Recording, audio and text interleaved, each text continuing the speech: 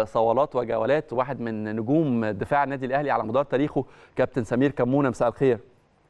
حبيبي يا أبو حميد ألف. ألف مبروك يا كابتن سمير. ألف ألف مبروك علينا وعلى جماهيرنا الحبيبة. مبروك لرجالة النادي الأهلي. فعلا فريق كبير فريق عظيم. أنت ألف. أنت الله يبارك فيك. أنت من الناس اللي, اللي توقعت إن المباراة دي الأهلي يكسب فيها بسكور كبير. آه الحمد لله. بص أنا أنا أنا أنا نزلت التصريح ده ليه يا أستاذ أحمد. أيوه. لهدف معين. اولا طبعا أنت عارف إن أهلاوي أهلاوي من الدرجة الثالثة يعني. طبعا. من المدرجات أكيد. آه كل الإعلام الزملكاوي مع كل الاحترام ليهم طبعا فريق آه محترم وفريق آه كبير برضو. إنما كان في دعم غير عادي. امم واتكلموا على الفرقة زيادة عن اللزوم وكان في سن التعالي قلبت بغرور ده قبل اللقاء. ده حقهم مشروع ده فرقتهم براحتهم خالص والله والله دول خدمونا. يعني إذا كان كده فعلا هم خدمونا خدمه أنا بقول العمر. لك أصل أنا. مراقب- يعني متا- متابع جيد. أيوه. أنا حسيت إن برضو التصريح كان في- صالح النادي الأهلي وممكن يهمد لعيبة الزمالك. والفعل ده حصل. إن كله ال- ال- الكفة مايلة الزمالك هيكسب اثنين هيكسب ثلاثة هو بطل الدوري آه عنده squad كويس عنده مش يعني حاجات كتيرة قوي. كله كان في صالح فرقة نادي الزمالك. فكل ده شيء جميل جدا احترامنا الكامل ليهم. لكن أنا بقى كمان بتكلم على انتمائي وثقة في لعيبة النادي الأهلي وال- والماتشين للنادي الأهلي آخر ماتشين لعبهم قدام الإسماعيلي كسب أربعة قدام البنك كسب واحد. أداء أيوة. راقي جدا ولاعيبة منظمة وصفقات جديدة ناجحة زي بيرسي تاو.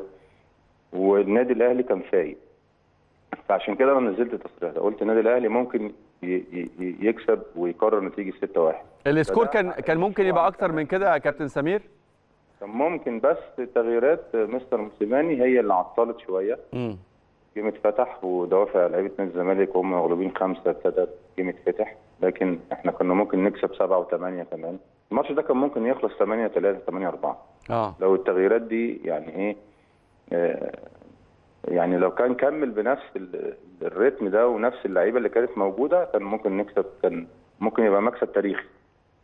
لكن آه، إدارة موسيماني المباراه كويسة جدا من أحسن مبارياته من ساعة ما جه النادي الأهلي. مباراة كبيرة برضو عكس الناس لما بتقول كارتيرون أفضل من موسيماني في المباريات الكبيرة. امم طب مباراة امبارح دي مباراة كبيرة جدا. ده ده ديربي العرب وديربي طبعا. وأهم ديربي في أفريقيا. صحيح. وده ماتش كبير فهو أدار المباراة. كان محنك جدا وكان آه، مركز عكس آه، كارتيرون لما. أبدأ تصريحاته طبعا آه، المستفزة وقال إن فرقة نادي الزمالك الأحسن والأهلي إحنا ممكن نتفوق عليه يعني هو نافخ لعيبة الزمالك شوية والإعلام كمان كان مسانده فدي أثرت عليهم بالسلب النادي الأهلي فاجئ الجميع بالمستوى الفني في جون واثنين وثلاثة أول 29 دقيقة. وبعدين كمان كان في تنظيم دفاعي وهجومي في آه، اثنين لعيبة كانوا بيلعبوا بتكتيك على أعلى مستوى اللي هو علي معلول وأكرم توفيق. أيوه. أكرم توفيق واقف بن شرقي أول 45 دقيقة أضعف قوة هجوم نادي الزمالك. نفس الشيء علي معلول ما كانش بيهاجم كتير وقف آه، بيتصدى هجمات زيزو آه، ناحية اليمين. ف يعني شل حركة الهجوم بتاع فرقة نادي الزمالك. كان في يعني عايز أقول لك تركيز على أعلى مستوى بالإضافة كمان لما حمدي فتحي ابتدى يرجع ورا بداية الهجمة بيلعبوا ثلاثة فلات مع آه، آه، بدري بنون وحمدي فتحي وأيمن أشرف. ثلاثة فلات يدي ارتياحية لقفشه بقى يجي يمين ناحية مركز 10 ويبدأ في صناعة الهجمات ويبقى في زيادة عددية في نص الملعب الزيادة الهجومية. على الرغم خليني آخد رأيك في النقطة دي يا كابتن سمير لأنها شغله شوية جمهور النادي الأهلي. على الرغم إنها طريقة تبدو إنها تميل أكتر للشق الدفاعي وعلى الرغم إنك بت- بتبتدي الماتشات دي تقريبا بسبعه لاعبين يميلوا أكتر للدفاع أو مهامهم الدفاعية أكتر منها هجومية. أنت بتتكلم على بدر بنون أيمن أشرف أكرم توفيق علي معلول. حمدي فتحي السولية ديانج. مظبوط؟ إلا إنه المباريات دي أو الطريقة دي اللي لعب بيها مستر موسيماني قدر الفريق فيها إن هو يسجل تسع أهداف في آه، أربعة في مرمى الإسماعيلي وخمسة في مرمى الزمالك. بتشوف الحتة أو الجزئية دي إزاي؟ برافو عليك دي نقطة مهمة جدا إن أنت عندك rotation في طريقة اللعب. بيلعب موسيماني بطريقة 4 2 3 1 أيوه. وبيلعب ب 4 3 3 وهو لعب كده امبارح في حالة الكره لما بيكون عليك النواحي الهجوميه. قدر إن هو يثبت عارف لما يعني بلغة الكورة بنقول إيه كده ثلاثة في خط الظهر السوليه وحمدي فتحي و... وعندك أيوة، ديانج في خط النص. مثلث. آه ديانج كان راس مثلث آه قدام الاثنين الاثنين بيعملوا سبورت دفاعي وديانج بيقعد يعني بي- بيهاجم آه آه على راس المثلث ده اللي هو نجح فيه موسيماني إن هو بيديله ارتياحيه في الناحيه الهجومية جاب الهدف الأولاني في الدقيقة 16 وجاب الهدف الثاني من placing من بره ال 18 ما هي دي خلي بالك. أيوه. آه، ليها يعني آه، ليها طريقة ليها ليها تنفيذ طبعا معين. طبعا. عندك لعيب بالمجهود ومعدلات الجري والقوة البدنية بالإضافة زائد زائد المهارة دلوقتي اللي إحنا بن- بنشوف فيها ديانج هي دي اللي نجحت الطريق. بالاضافه كمان إن أنا عندي بيرسي تاو كان بياخد بيشتغل على المساحات ويشتغل فرد ناحية الونش محمد الشريف في تحركاته. أنا عايز بقى أتكلم كمان على هدف محمد الشريف. أيوة. هدف يدرس مح- لمحمد شريف. أيوه. الأسيست اللي عمله عمرو السولية. عمرو السوليه ده تقريبا اسمه آه، ريبونا تقريبا رابونا حاجة كده رابونا حاجة كده آه. رابونا أيوه مظبوط. رابونا رابونا. هو ده دي حاجة ما بنشوفهاش كتير. إحنا ما بنشوفهاش خالص والله يا كابتن سمير. يعني حاجة يعني إبداع. أيوه. بالإضافة كمان تحرك محمد الشريف من ورا الونش إن هو ياخد خطوة وي- وياخد قرار إن هو يعملها على يمين أبو جهل أبو جبل. دي هي هي كابتن سمير على الشاشة أهي.